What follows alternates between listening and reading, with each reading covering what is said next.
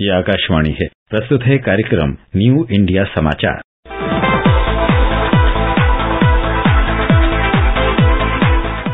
नमस्कार। आकाशवाणी के समाचार सेवा प्रभाग की प्रस्तुति न्यू इंडिया समाचार में आपका स्वागत है। इस बार हम बात कर रहे हैं 16 से 31 दिसंबर के अंक के बारे में। श्रोताओं, कार्यक्रम की पिछली कड़ी में हमने बात की थी 2022 में आत्मनिर्भरता की राह पर विभिन्न सेक्टरों में तेज़ी से बढ़ते भारत की। क्योंकि किसी भी नए वर्ष की शुरुआत नए संकल्पों के साथ होती है तो वर्ष के अंत में उसकी समीक्षा भी उतनी ही महत्वपूर्ण हो जाती है। इसलिए इस अंक में हमने अब तक आपको बताया कि किस तरह आत्मनिर्भर भारत का आह्वान 2020 में जन जन को प्रेरित करने वाला रहा तो 2021 में देश ने इस दिशा में खाका खींचा और नीतियों के ज़रिए कदम आगे बढ़ाया। अब 2022 में भारत ने आत्मनिर्भरता के लक्ष्य को हासिल करना शुरू किया है। अब इस अंक के अमृत महोत्सव की बात करते हैं, क्योंकि अमृत काल में आज़ादी के महानायकों की प्रेरणा ही हमारे विकसित भारत के सपने और संकल्प को नई ऊर्जा प्रदान कर रहे हैं। भारत की आज़ादी और गुलामी की जंजीरों से मुक्ति दिलाने के लिए देश के अनगिनत योद्धाओं ने अपने प्राण और जीवन की आहुति दे दी। आज़ादी की यह लड़ाई अहिंसक और क्रांतिकारी दोनों तरीकों से लड़ी गई। आज़ादी के अमृत महोत्सव की श्रृंखला में इस बार कहानी राम वृक्ष बेनीपुरी सखाराम गणेश देवस्कर, क्रांतिकारी राजेंद्र नाथ लाहिरी और गांधीवादी कृष्ण वल्लभ सहाय की राम वृक्ष बेनीपुरी जिन्होंने एक साथ की साहित्य और क्रांति की साधना। भारत की स्वतंत्रता के लिए शब्दों की धार के साथ क्रांति की मशाल थामने वाले महान लेखक और समाज सुधारक राम वृक्ष बेनीपुरी का जन्म 23 दिसंबर 1899 को बिहार के मुजफ्फरपुर ज़िले में हुआ था। जलियांवाला बाग में हुए नरसंहार से व्यथित होकर वे स्वाधीनता आंदोलन में कूद पड़े। पहले रोलेट एक्ट के खिलाफ आंदोलन में सक्रिय हिस्सा लिया, फिर जब महात्मा गांधी ने 1920 में असहयोग आंदोलन शुरू किया तो बेनीपुरी पढ़ाई छोड़कर इस आंदोलन में शामिल हो गए। रामवृक्ष बेनीपुरी को 1942 में भारत छोड़ो आंदोलन से ठीक पहले हजारीबाग जेल में बंद कर दिया गया था। कहा जाता है कि उनकी सहायता से ही जयप्रकाश नारायण हजारीबाग जेल से भागने में कामयाब हुए थे। फैजपुर में 1937 में कांग्रेस के पचासवें अधिवेशन में बेनीपुरी ने जमींदारी उन्मूलन का प्रस्ताव पेश किया। रामवृक्ष बेनीपुरी जातिवाद के कट्टर विरोधी थे, जिसके लिए उन्होंने हजारीबाग जेल में कारावास के दौरान जनेऊ तोड़ो अभियान शुरू किया था। रामवृक्ष बेनीपुरी की साहित्य और क्रांति की साधना साथ साथ चलती रही। उन्होंने कई समाचार पत्र निकाले, जिनमें युवक भी शामिल है। 23 मार्च 1931 को भगत सिंह की फांसी पर उन्होंने युवक में खिलाफत और बगावत की स्याही से जो संपादकीय लिखा, उसके लिए अंग्रेज़ों ने छह माह के लिए उन्हें जेल में डाल दिया। वह तरुण भारत, किसान मित्र, गोलमाल और बालक जैसे अखबारों के संपादक भी रहे। लेकिन लोकप्रियता उन्हें उन्नीस सौ उनतीस में युवक के प्रकाशन से मिली। बेनीपुरी ने हजारीबाग केंद्रीय जेल में कैद के दौरान अम्बपाली पुस्तक लिखी। 9 अगस्त 2017 को भारत छोड़ो आंदोलन की पचहत्तरवीं वर्षगांठ के अवसर पर विशेष चर्चा के दौरान लोकसभा में प्रधानमंत्री नरेंद्र मोदी ने राम वृक्ष बेनीपुरी और उनकी लिखी एक किताब, जंजीरें और दीवारों को याद किया था। सखाराम गणेश देउस्कर जिन्होंने अंग्रेज़ी मजिस्ट्रेट का ऐसा विरोध किया कि चली गई नौकरी। क्रांतिकारी पत्रकार और अरविंदो के निकट सहयोगी सखाराम गणेश देउस्कर का जन्म 17 दिसंबर अठारह सौ उनहत्तर को वर्तमान झारखंड के देवघर के निकट एक गाँव में हुआ था। वे भारतीय पुनर्जागरण के प्रमुख नेताओं में से एक थे और बाल गंगाधर तिलक को अपना गुरु मानते थे। देउस्कर ने अठारह सौ तिरानवे में शिक्षक के तौर पर नौकरी शुरू की।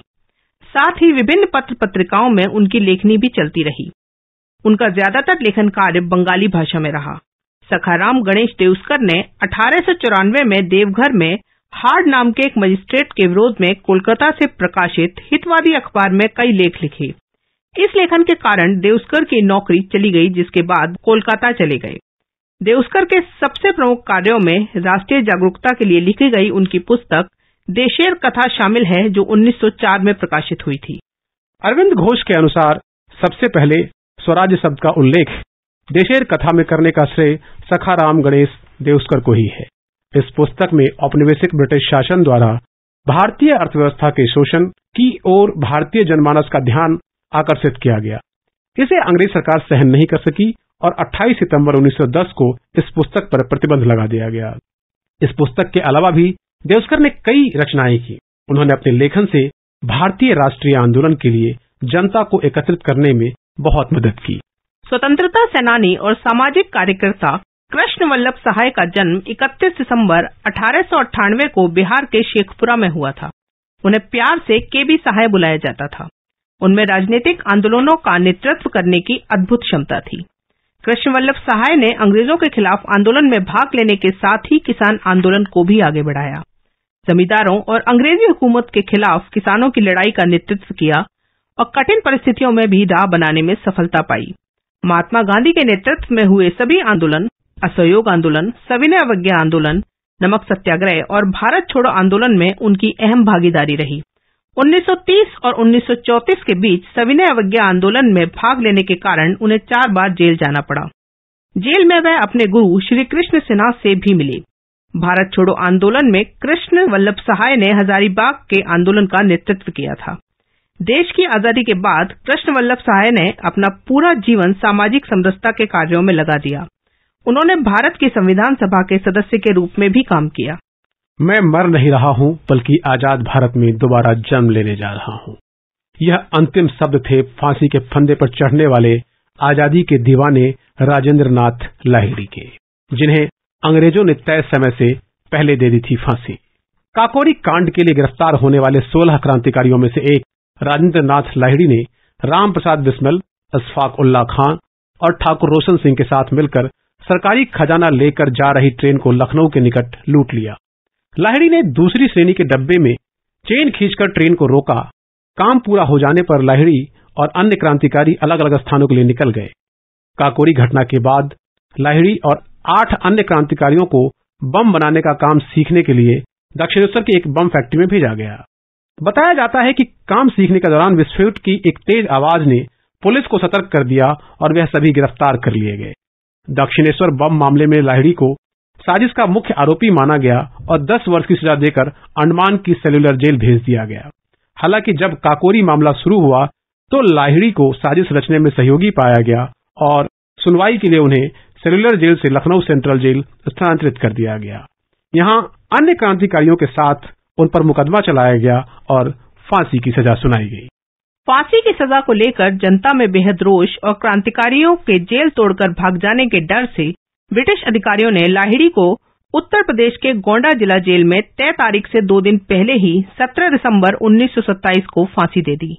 लाहिड़ी की फांसी न केवल इतिहास में अमिट है, बल्कि यह मृत्युदंड के इतिहास में भी अंकित है, क्योंकि ऐसा पहली बार हुआ था कि कोई भी फांसी निर्धारित तिथि से पहले दी गई हो। लाहिड़ी को भारतीय क्रांतिकारी आंदोलन में बदलाव का प्रतीक माना जाता है। श्रोताओं, समय की बाध्यता को देखते हुए आज इतना ही। कल के कार्यक्रम में बात होगी नव वर्ष के नए अंक की। इस पाक्षिक पत्रिका की हर प्रति न्यू इंडिया समाचार dot P I V dot G O V dot in website पर उपलब्ध है, जहाँ आप सभी समाचारों को विस्तार से पढ़ सकते हैं। डिजिटल और प्रिंट में यह पत्रिका देश ही नहीं, विदेशों में भी अपनी अलग पहचान बना चुकी है। इसका ट्विटर हैंडल एनआईएस इंडिया है, जो वेरीफाइड है। इसके अलावा आप हमें response dash NIS at P I B dot G O V dot in पर ईमेल के ज़रिए अपना सुझाव भी भेज सकते हैं। तब तक के लिए धन्यवाद।